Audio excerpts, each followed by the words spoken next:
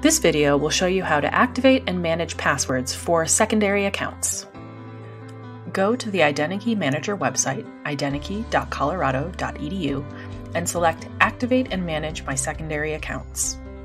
You'll be prompted to log in to CU Boulder's Federated Identity Service using your primary CU login name and Identikey password. Please note, you may be prompted by Duo if you're enrolled in multi factor authentication. Select the account you'd like to change the password for from the available Secondary Accounts drop down menu. Enter a new password following the requirements listed on the page, then click Set Password. Identikey Manager will automatically alert you if your password does not meet security requirements.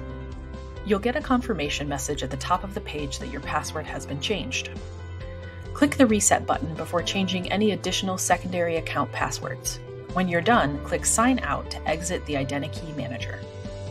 If you're unable to use Identikey Manager or if you have any other concerns, contact the IT Service Center at 303 735 4357 or email oithelp at colorado.edu.